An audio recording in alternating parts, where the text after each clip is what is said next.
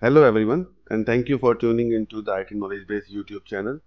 I am thrilled to have you here. Whether you are a seasoned IT pro or just starting your tech journey, this channel is your go-to source for all things IT related. From troubleshooting tips to deep dives into the latest technologies, we have got you covered here.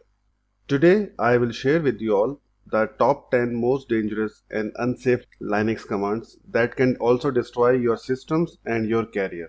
So it is good to know about this command so that in the future you use any of them and you better know the consequences.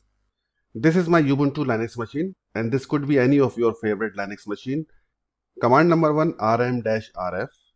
If you execute this command like this, what it does, this command does nothing other than remove everything in your system from the root directory.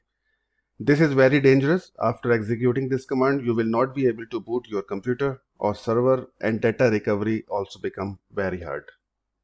Just hit enter. And now you can see the consequences. This Linux machine is almost dead. Now you cannot do anything.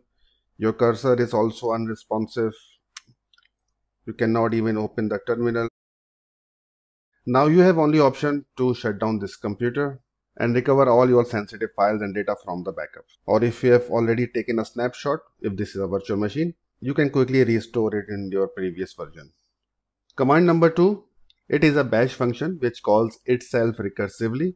If you execute this command like this, this type of command is a fork bomb which creates a recursive function which means that spawns processes until the system is overwhelmed. Let's open the system's health utility first to check the overall status.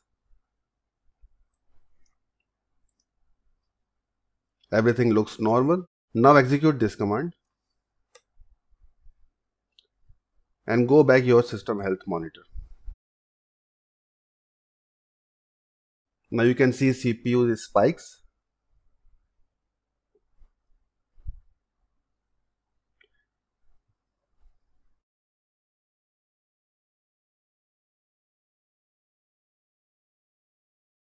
Here it is. This is a very dangerous command. After this command is executed, it is going to exhaust all resources in your server which will lead complete shutdown. Control C to stop this process. Now you cannot stop this process or simply close the terminal.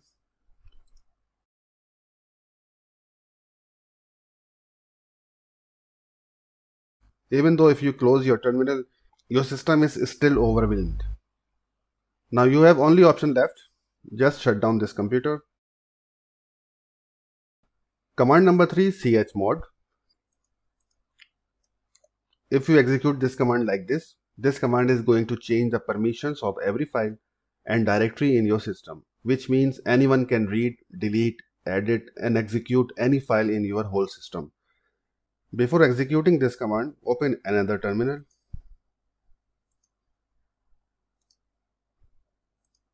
check the permissions of files and folders.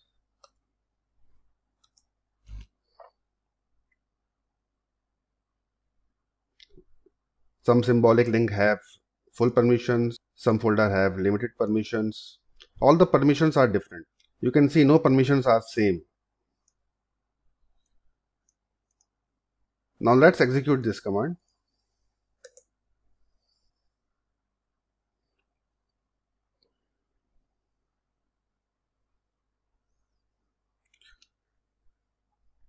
This is also a very dangerous because every user has permissions to do everything the system admin can do. Now check the permissions again. This is the impact of this command.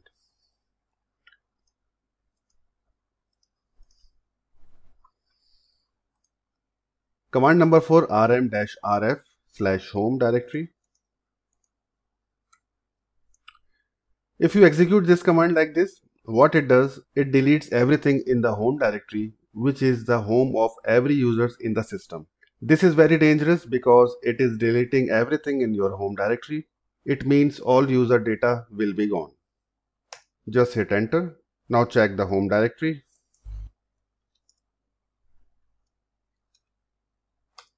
There is no home directory.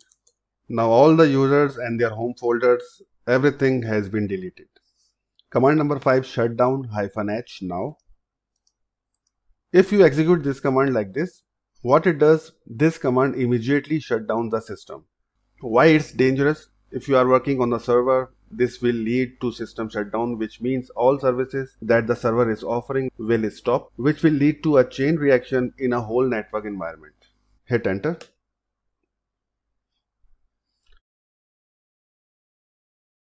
Command number 6 kill hyphen 9 space hyphen 1. If you execute this command like this, what it does, this command sends the kill signal to all processes except the kernel. Hit enter. The serious outcome will be because even if you have backup ready, it will not start all services that were running at that time which can lead to a problem. The serious outcome will be because even if you have backup ready, it will not start all services that were running at that time, which can lead to a lot of problems. Command number 7 wget to download malicious files from malicious website. Hit enter. What it does, this command downloads a file from some websites and execute it on the system. Why it's so dangerous? Because we not only download it from websites for which we are not 100% sure, but we also execute it even before checking its content or doing any analysis to make sure it is safe to run on the server.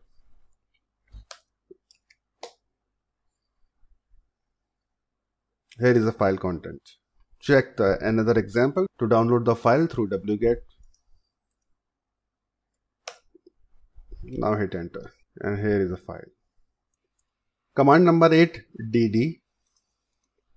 The dd command is an extremely powerful Linux utility. It is commonly referred to as the disk destroyer data definition, disk dump or disk duplicator due to its immense power and ability to directly interact with block devices. If you execute this command like this, what it does, this command writes zeros to the entire hard drive.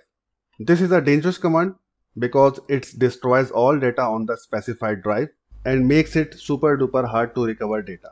Now open the another terminal, type df and check the available volume dev sda3 and SDA2. You can also write this command on SDA3.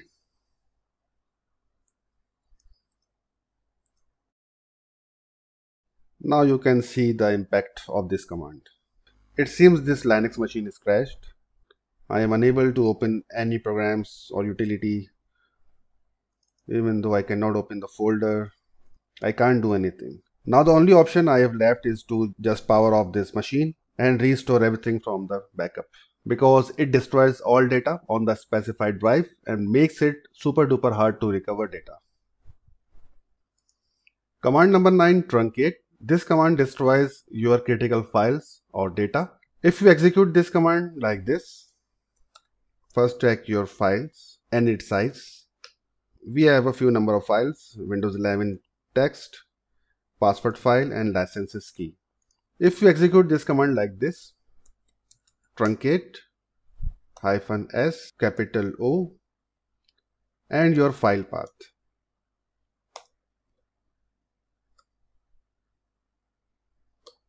It's 0. Now type ls-al. Now check the file size. It's set to 0. If you open this file, you have seen nothing. Now you have lost all the licenses keys. Type again. Truncate hyphen s space 0 password file hit enter. Repeat this command with up arrow key.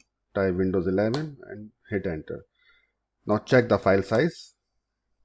All set to 0 you have lost this file. The only option is left with you is to recover it from your backup Command number 10 tar czf. If you execute this command like this, what it does, this command tries to create a compressed archive of the entire file system or root. Why it's dangerous? Because it's writing an archive to a block device can override the content of the drive, potentially corrupting or destroying the file system and data. This is not a proper use of tar and can cause severe damage. Now what is the countermeasure or preventive measures? You have to understand the commands. Always ensure you fully understand a command before executing it, especially those involving critical systems components. You have to review commands. Always double check commands, especially those involving file deletion or permissions changes. Limit privileges. Execute potentially dangerous command with minimal privileges or in a controlled environment to minimize the risk. Use aliases. Implement aliases to prevent accidental execution of destructive commands. Here is the example. Monitor system changes. Use tools to monitor and log changes to critical files and directories to detect and respond to unauthorized modifications. Last but not least, test the command. Run potentially dangerous commands in a test environment before applying them to production systems. By following this method, you will most likely not make this kind of mistake in your systems or your company's server. Alright, that is all for the now. Thank you for watching and I look forward to sharing more of my journey with you all. If you want to see more awesome training content, make sure you click that subscribe button. Click it so you don't miss it or if you have any issues or questions you can reach out to me and I'd be happy to help you out. Thank you.